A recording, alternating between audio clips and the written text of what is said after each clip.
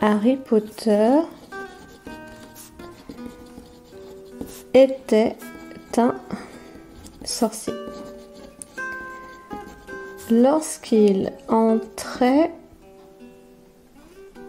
entra à Poudlard, il voyait, vit un géant. Vous êtes là? Bonjour petits sorciers émoldus.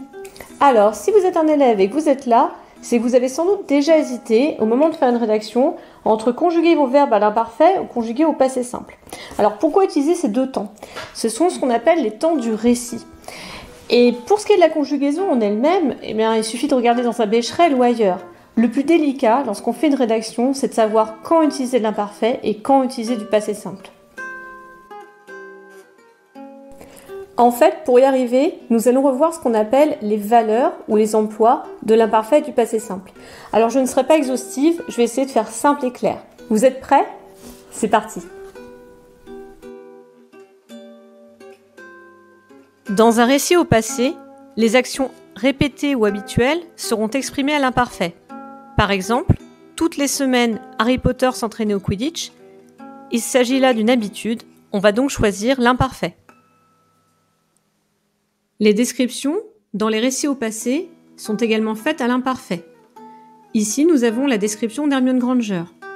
Hermione Granger avait les cheveux bruns, ébouriffés et les yeux marrons. Elle était très intelligente. L'imparfait est également utilisé pour ce qu'on appelle le second plan ou l'arrière-plan du récit, c'est-à-dire les actions qui ne sont pas les plus importantes. Par exemple, lorsqu'on dit Ron somnolait pendant le cours de potion. Soudain, le professeur Rogue l'appela.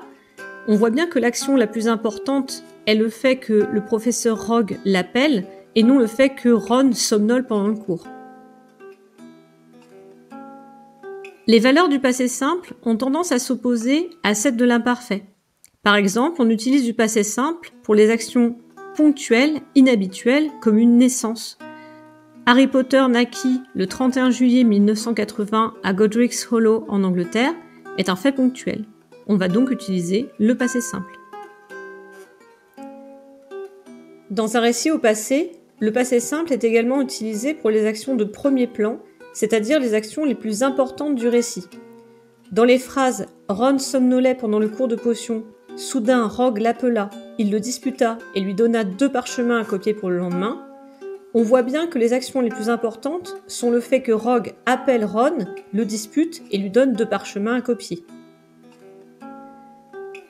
En résumé, on utilise l'imparfait pour les actions répétées, habituelles, pour les descriptions, et pour les actions de second plan, l'arrière-plan du récit. Le passé simple, quant à lui, est surtout utilisé pour les actions ponctuelles inhabituelles et pour les actions de premier plan les plus importantes dans le récit. Voici des exemples pour vous tester. Je vous laisse quelques secondes de réflexion.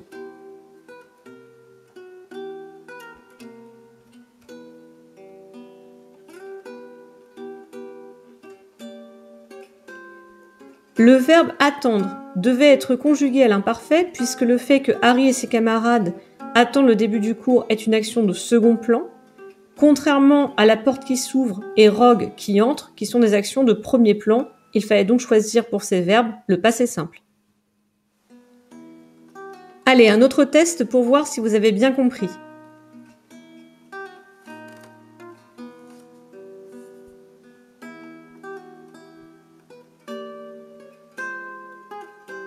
Il fallait choisir pour le verbe organisé de l'imparfait, puisqu'il s'agissait ici d'une habitude, comme l'atteste le groupe nominal tous les ans, alors que le verbe avoir devait être conjugué au passé simple, puisqu'il exprime ici une action ponctuelle. J'espère que vous avez bien tout compris.